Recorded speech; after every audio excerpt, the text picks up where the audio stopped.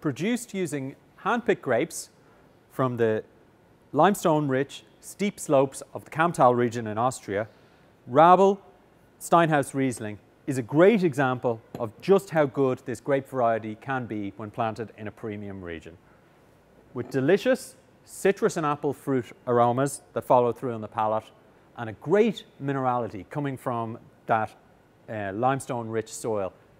The winemaker, Rudy Rabl, has also decided to give this wine a little time resting on the skins. Very unusual for a white wine, but what that does is it adds a bit more texture and body to the wine, which makes this Riesling a perfect partner for lightly spiced Asian dishes, and in particular, sushi.